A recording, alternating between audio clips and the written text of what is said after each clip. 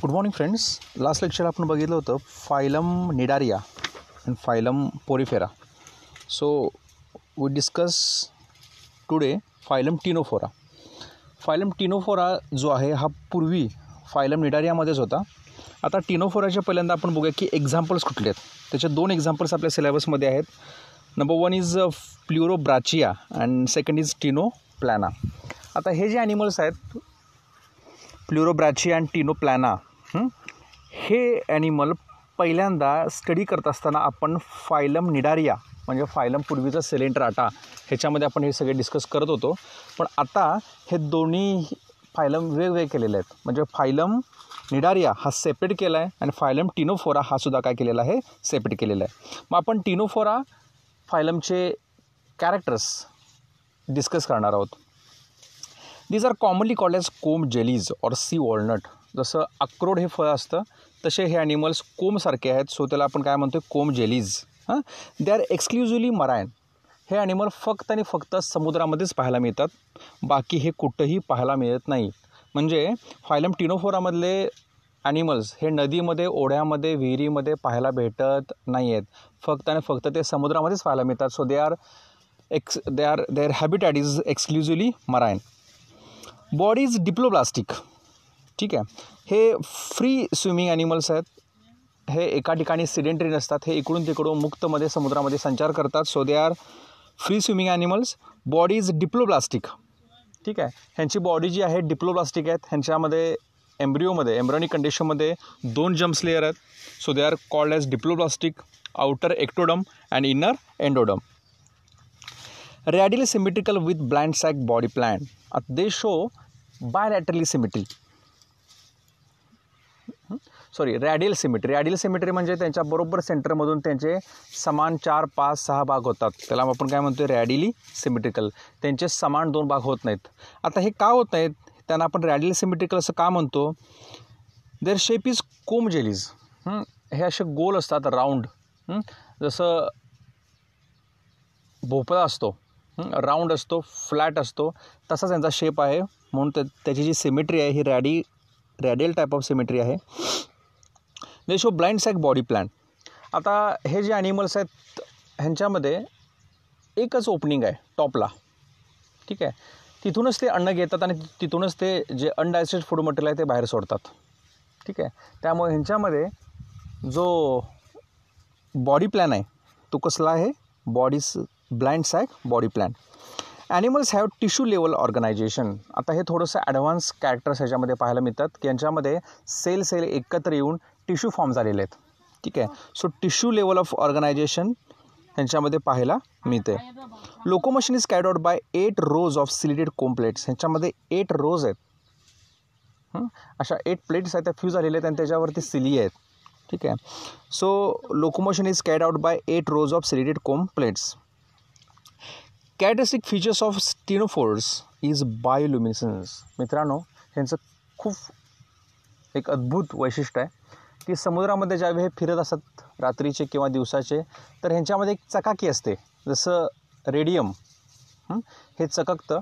तसंच ह्यांच्यामध्ये बायोल्युमिनेसन्स हा फिनॉमिनॉन आहे की त्याचा ते वापर ठीक आहे ह्या बायोलिन्स बायोलिन्स हा इफेक्ट असल्यामुळं शक्यतो कुठलेही ॲनिमल ह्यांच्यावरती अटॅक करत नाहीत.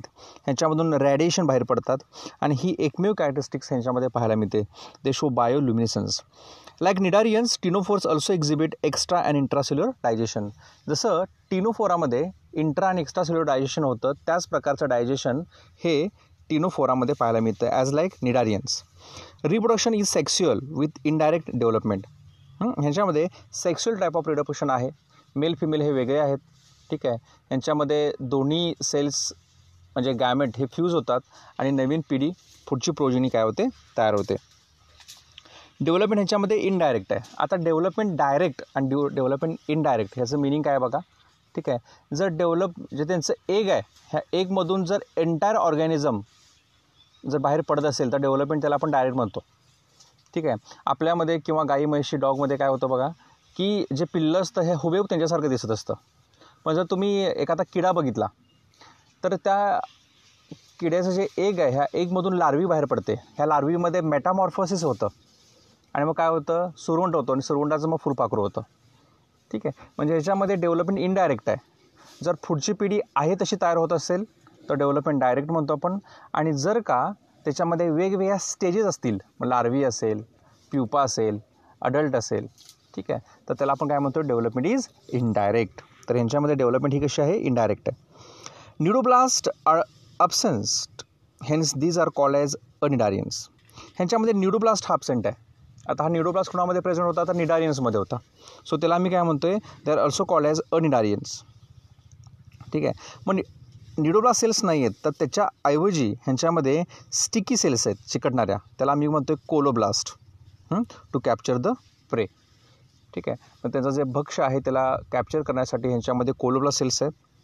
Ctenophora is represent by a very few members hence it is consider as one of the minor phyla हा जो फायलम आहे ह्याच्यामधले जे ॲनिमल्स आहेत हे खूप रेअर आहेत.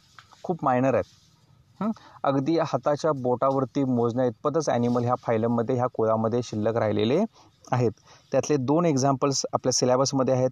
पहिलं एक्झाम्पल आहे प्ल्युरोब्रॅचिया अँड सेकंड एक्झाम्पल आहे टिनोप्लॅना ठीक आहे? बघा मी परत सांगतो आहे प्ल्युरोब्रॅचिया आणि टिनोप्लाना परत मी थोडासा व्ह्यू घेतो आहे रिव्ह्यू घेतो आहे की हे जे ॲनिमल्स आहेत हे फक्त समुद्रामध्ये राहायला मिळतात. त्या एक्सक्लुझिव्हली मरायन हे डिप्लोप्लास्टिक आहेत. फ्री स्विमिंग आहेत. इकडून तिकडं अगदी व्यवस्थित हे करतात. त्यांना कॉमनली आम्ही काय म्हणतो कोम जुलिस किंवा सी वॉलनट ह्यांच्यामध्ये रॅडियल सिमेट्री पाहायला मिळते. ह्यांच्यामध्ये त्याचे समान आठ भाग होतात. ह्यांच्यामध्ये ब्लाइंड सॅक बॉडी प्लॅन आहे. जिथून घेतात तिथूनच ते सोडतात. Animals have tissue level organization ह्यांच्यामध्ये अनेक सेल एकत्र येऊन टिश्यू तयार झालेला आहे. सो टिश्यू लेवल ऑर्गनायझेशन यांच्यामध्ये पाहायला मिळते. ह्यांच्यामध्ये जी लोकोमोशन आहे ते आता फ्री स्विमिंग आहेत म्हणजे इकडून तिकडे फिरतात. मग ते कोणाच्या साईने फिरतात? तर त्यांच्यामध्ये एट रोज आहेत. सिलिटेड कॉम्प्लेट्स ह्याच्यामध्ये एट रोज ऑफ सिलिटेड कॉम्प्लेट्स ह्याच्या साह्यानं ते इकडून तिकडं फिरतात. ह्यांच्यामधले एक एक विशिष्ट खासियत दे शो बायोल्युमिनेसन्स हे चकाकतात किंवा त्याच्यामध्ये रॅडिएशन तयार करतात. ठीक आहे. ह्यांच्यामध्ये न्यूडोब्लास्ट सेल्स नाही आहेत so they are called as acnidarians reproduction ह्याच्यामध्ये सेक्स्युअल होतं आहे डेव्हलपमेंट ही डायरेक्ट नाही आहे तर डेव्हलपमेंट ही इनडायरेक्ट आहे. ह्यांच्यामध्ये न्यूडोब्लास्ट सेलच्या ऐवजी स्टिकी सेल्स आहेत. त्याला आम्ही कोलोब्लास्ट असं म्हणतो. आणि हे जे कोलोब्लास्ट आहेत ह्या स्टिकी सेल आहेत ह्याचा वापर ते काय करतात? टू कॅप्चर द प्रे जे त्यांचं प्रे आहे त्याला पकडण्यासाठी ते त्याचा वापर करत असतात. ठीक आहे. एक्झाम्पल आहेत प्ल्युरोब्राची आणि टिनो प्लॅना हे दोन काय आहेत त्याचे? एक्झाम्पल्स आहेत. नेक्स्ट फायलम जो आहे आता फिगर फोर पॉईंट एट तुम्ही बघताय. की ॲनिमल्स ऑफ टिनोफोरा ते प्ल्युरोब्राच्याचं एक्झाम्पल दिख दिख दाखवलेलं आहे. तर त्याच्यामध्ये ब्ल्यू कलरचा तो ॲनिमल आहे बघा. तो थोडासा शायनी आहे चकाकतो आहे त्याच्यामध्ये ते बायोलिमिन्स हा प्रकार त्याच्यामध्ये त्यांना दाखवायचा आहे. नेक्स्ट फायलम आहे. Phylum number four phylum Platyhelminthes आता प्लॅटिएलमेंथिस हे जे नाव आहे हे ग्रीक नाव आहे. Platy means flat and helminthes means worm platy helminthes example आहे प्लॅनेरिया टिनिया आणि liver fluke. That is fasciola. असे तीन एक्झाम्पल आपल्याला सिलेबसमध्ये दिलेले आहेत. ठीक आहे. आता हे जे ॲनिमल्स आहेत यांचे थोडेसे कॅरेक्टर्स बघूया. The phylum platyhelminthes contain flat bilaterally symmetrical that is unsegmented worms बघा हे जे ॲनिमल्स आहेत हे फ्लॅट आहेत चपटे आहेत. त्याला चपटे कृमी असा माडीमधला शब्द आहे. बायलॅटरली सिमेट्रिकल बरोबर त्यांचे समान दोन भाग होतात. आणि अनसेगमेंटेड म्हणजे त्यांची बॉडी आहे ती एंटायर आहे. असे सेगमेंट झालेले नाही आहेत it includes both free living that is fresh water or marine water and parasitic form ठीक आहे? ह्याच्यामध्ये दोन प्रकार पाहायला मिळतात. एक म्हणजे फ्री मुक्त. आणि जे दुसरा प्रकार आहे ॲनिमलचा की जे दुसऱ्या ॲनिमलच्या बॉडीच्या आत असतात. त्यांना आम्ही म्हणतो पॅरासाईट जे स्वतःचं अन्न स्वतः तयार करू शकत नाहीत की जे दुसऱ्यावरती डिपेंड असतात. ठीक आहे? त्यांना आम्ही काय म्हणतो आहे पॅरासाईट ठीक आहे. ह्यांच्यामध्ये बायलॅटल सिमिट्री आहे. They are parasite these are commonly called flat worms त्यांना आम्ही काय म्हणतो आहे फ्लॅट वर्म्स आता ह्याचे कॅरेक्टर्स थोडे आपण वन बाय वन बघूया. ह्या ॲनिमलचे त्यातलं पहिलं कॅरेक्टर बघूया.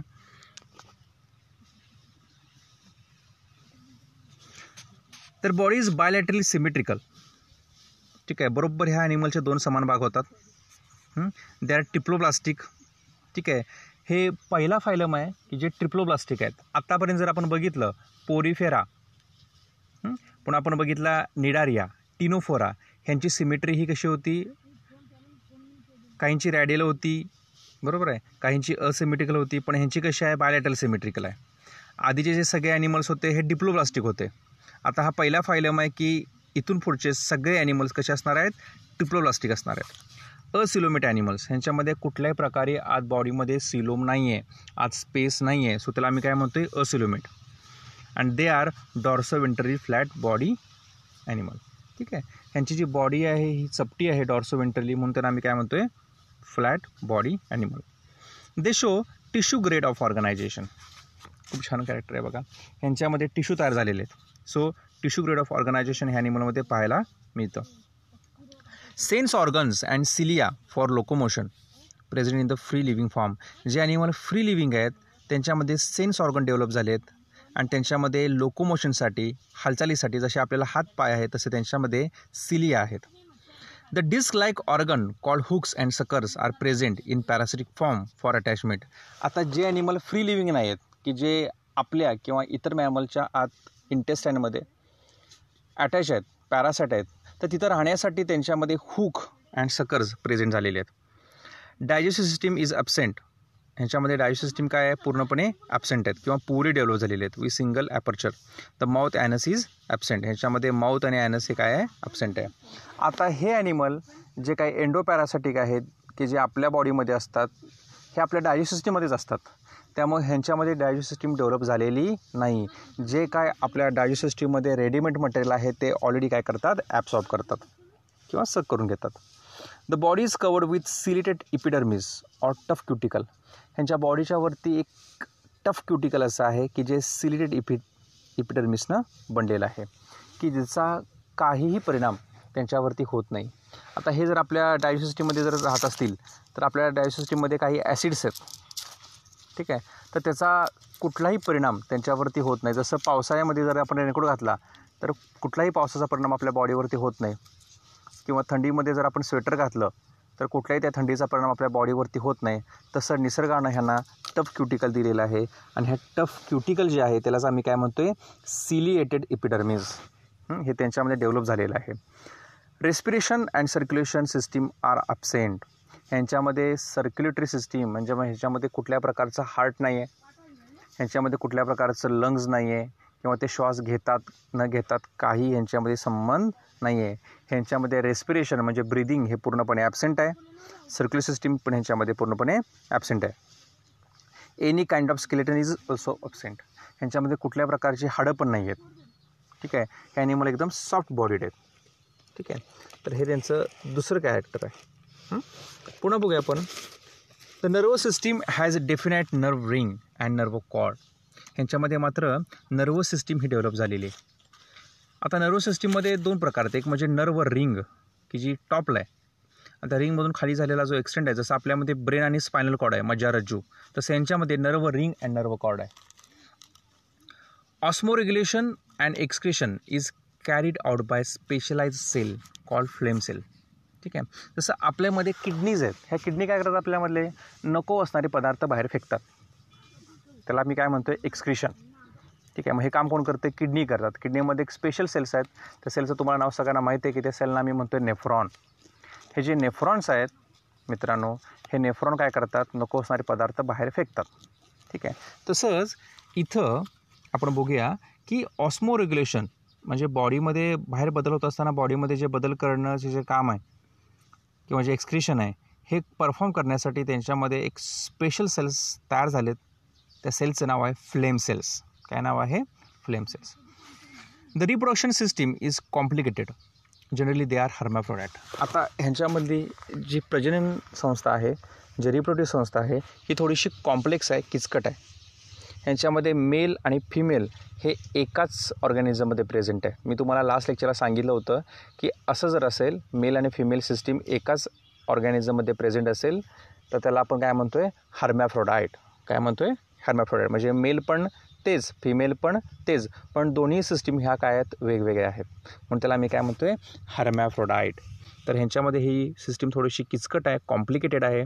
So generally they are hermaphrodite A complicated life history with alternation of host is seen in parasitic form. The flatworms are endoparasites. आता हे जे फ्लॅटवर्म्स आहेत हे स्पेशली एंडोपॅरासाईट आहेत. की एंडोपॅरासिट म्हणजे काय? दुसऱ्या ॲनिमलच्या आत राहतात. पण तिथं येण्यासाठी त्यांना होस्ट चेंज करावे लागतात. ठीक आहे? आता आपण एक्झाम्पल घेऊया की टेपवम हा? टेपवम हा माणसाला डॅमेज करतो ह्युमन बिईंगला ठीक आहे. पण तो पिगमधून येतो. म्हणजे बघा ज्या व्यक्तीला टॅनियासिस किंवा जो हा टेफॉर्मचं इन्फेक्शन झालेलं आहे त्याच्या स्टूलमधून हे अंडी बाहेर हे करतात. तो माणूस बाहेर ज्यावेळी इंटेस्टल डिस्चार्ज करतो किंवा बाहेर ज्यावेळी उघड्यावरती शौचाला बसतो त्यावेळी तिथं ते डुकरं येतात आणि ते डुकरं ती ते जे एग्ज आहेत ते खातात.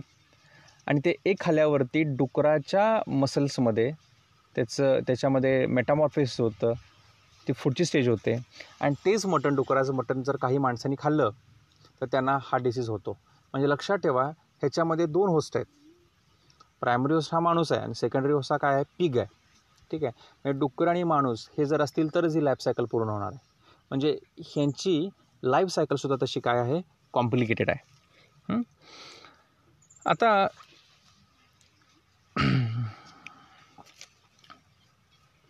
सेल्फ फर्टिलायझेशन इज सीन ह्याच्यामध्ये सेल्फ फर्टिलायझेशन पाहायला मिळते कारण का ते हर्मॅफ्रोडाईट आहेत. Few have high power of regeneration ठीक आहे? And they show polyembryony एकावी अनेक अंडी ते काय करतात? घालतात. ठीक आहे? तर हा सगळा फायलम आपण बघितला. फायलम प्लॅट प्लॅटिहेलमेंथिस आता त्याचे दोन तीन एक्झाम्पल दिलेले आहेत. पहिलं एक्झाम्पल आहे प्लॅनेरिया हा फ्री लिव्हिंग आहे. टॅनिया टेपवम हा आपल्यामध्ये पाहायला मिळतो. आणि फॅसिवला हा लिव्ह म्हणजेच त्याचं नाव आहे लिव्हर फ्लूक हा बऱ्याच मॅमल्समध्ये पाहायला मिळतो. मी परत सांगतो आहे यांची बॉडी डॉर्सेंटरी फ्लॅट आहे. म्हणून त्याला आम्ही काय म्हणतो flat worms they are acoelomate. आत कुठल्या प्रकारची बॉडी कॅव्हिटी नाही आहे दे आर ट्रिप्लोब्लास्टिक ह्यांच्यामध्ये organ system grade of organization पाहायला मिळते. मोस्टली दे आर एंडोपॅरासिट आहेत काही फ्री लिव्हिंग आहेत. ह्यांच्यामध्ये हुक्स अँड सकर्स अटॅचमेंटसाठी होस्टमध्ये अटॅचमेंटसाठी ते प्रेझेंट आहेत. Body is covered by cuticle त्यांच्या बॉडीच्या वरती क्युटिकल आहे. त्यांच्यामध्ये सिलिया प्रेझेंट पाहायला मिळते. Digestive system is generally absent in parasitic form यांच्यामध्ये डायजेस्टिव्ह सिस्टीम काय आहे? अब्सेंट आहे. But in free living form it is incomplete that is blind sac body plan animals have flame cells for excretion and osmoregulation हे animal हर्मॅफ्रोडाट आहेत. ह्यांच्यामध्ये self fertilisation पाहायला मिळतं. आणि few have high power of regeneration and they show polyembryony ठीक आहे? ते पॉलिमरणी आणि हाय पॉवर ऑफ रिजनरेशन ह्या ॲनिमलमध्ये पाहायला मिळतं. ठीक आहे? अशा प्रकारे आज आपण दोन फायलम बघितले. फायलम टिनोफोरा बघितला आणि फायलम प्लॅटिलिमेंटिस असे दोन फायलम बघितले. आजचा होमवर्क आहे तुम्हाला की हे दोन्ही फायलम ह्यांचे कॅरेक्टर्स तुम्ही वन बाय वन हे करून त्यांची छानशी डायग्राम ड्रॉ करून स्केच करून लेबल करून तुम्ही तुमचा होमवर्क पूर्ण करू शकता ठीक आहे? आज आपण इथं थांबूया. नेक्स्ट फायलम जो आहे त्या फायलमचं नाव आहे ॲस्केलेमेंथिस खूप इंटरेस्टिंग आहे. ॲस्केलेमेंथिस आणि अनिडा हे जे नेक्स्ट फायलम आहेत ते आपण काय करणार आहेत? नेक्स्ट लेक्चरला पुढं बघणार आहोत. ठीक आहे? रोज आपल्याला दोन दोन फायलम बघायच्यात एवढं लक्षात ठेवा.